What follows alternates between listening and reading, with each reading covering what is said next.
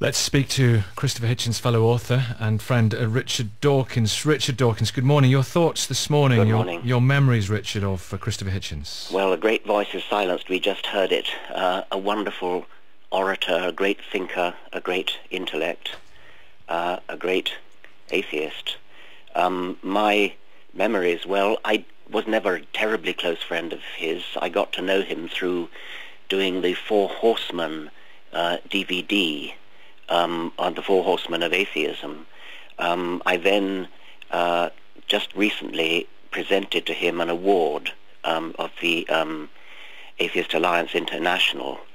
And the day before that, uh, and I, uh, he gave an extremely moving speech on that occasion. And the day before that, I interviewed him for the New Statesman. Um, and I guess that's my most that's my most abiding memory is is that long interview, uh, which is in in this week's New Statesman under the heading "Never Be Afraid of Stridency." Um, he was a a wonderful mentor in a way. He he was a, he encouraged me, um, and uh, I shall miss him terribly, and so will everybody who values the life of the intellect, of of rationality, of of reason. I, I, he, there are some wonderful clips on YouTube of him taking on people in the Bible Belt and so forth. But he was not just for, we have to say, he was not just, his work was not just enjoyed by, uh, by, by atheists. I know many people of belief who had a tremen- tremendous admiration for his, um, his strident liberalism and his championing of those who were oppressed. Yes, indeed. He hated tyranny of all kinds. He was against Stalin, he was against Mao, he was against Kim Il-sung, and he was against God. He hated tyrants of all kinds, whether real or imaginary. Mm.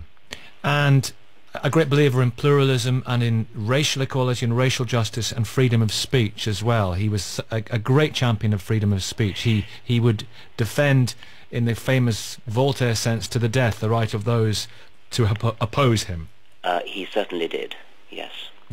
So, of the things he wrote, if you were to point people to, to one thing, to one book, because he was an iconoclast. He wrote the, that book, didn't he, about Mother Teresa of Calcutta, and said some very disobliging things about her. But would you point people who coming to Christopher Hitchens for the first time to one piece of work? Would you recommend anything? Uh, he certainly despised Mother Teresa, um, and uh, he said that um, uh, she was um, that she was much more interested in the in the immortal souls of her wretched patients than in than in helping them. Um, so yes, that that's an important book. But God is not great is surely the mo- the more important book and the one that I would recommend people to go to first. Um, as you will, will realize, it's a it's a, a takeoff on the um, Islamic God is great. Um, he was a great foe of militant Islam. Um, but the book is more than that. The book is a foe of gods of all kinds. And God he saw as a kind of supernatural tyrant, a supernatural dictator, and you heard a bit of that in the clip that you just played of his speech. He was great company, though, was he? Huge company. He was wonderfully witty, immensely erudite, uh, seemed to have read absolutely everything. He could quote by the yard.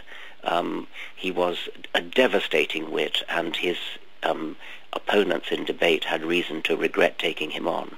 Uh, Martin Amis said that he would, I think, something like triumph even against Cicero and Demosthenes. Uh, thank you very much indeed, Richard Dawkins. Thank you very much. A very sad day.